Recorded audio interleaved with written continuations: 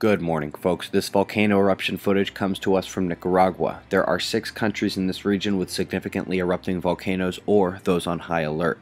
The same system that knocked out my power exploded yesterday along the leading edge, producing two very rare tornadoes for New York City. Check out the pictures if you haven't seen them. Having a look at yesterday's rainfall records, Columbia, New York is on there with over an inch in 20 minutes, and Franklin, North Carolina seeing unusual flooding after 2 inches in an hour. Torcon doesn't look too bad today, but check their updates a bit later. We had a 6 point earthquake in Indonesia yesterday, registering as high as a 6.8 or 7.1 by local readings.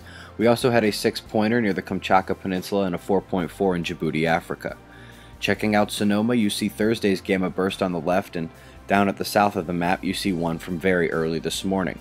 Looking at the solar wind, the green, yellow, and orange are the temperature, speed, and density, and they are all relatively calm. Up top in the red, the BZ fluctuations are happening at low nanotesla. So what caused a noticeable rise in proton counts yesterday?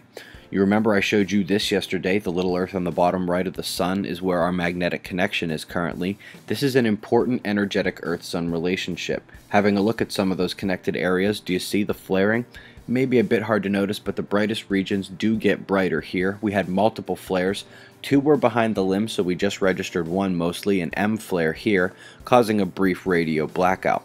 You can see the ejecta here actually from the backside blast, not coming anywhere near Earth, but the magnetic connection ruled the day and proton bombardment followed. Flares on our connection are always relevant. Having a look at the last 24 hours, trailing those active regions is a couple coronal holes. One sunspot on the north and a whole lot of open space. Looking at stereo B to see what's coming, some more massive coronal holes. So in the spirit of coronal holes and Mercury here about to conjoin the Sun, here are some significant heliocentric and geocentric positions coming up soon. I'll leave you with more complete footage of that volcano. That's the news, folks. Be safe.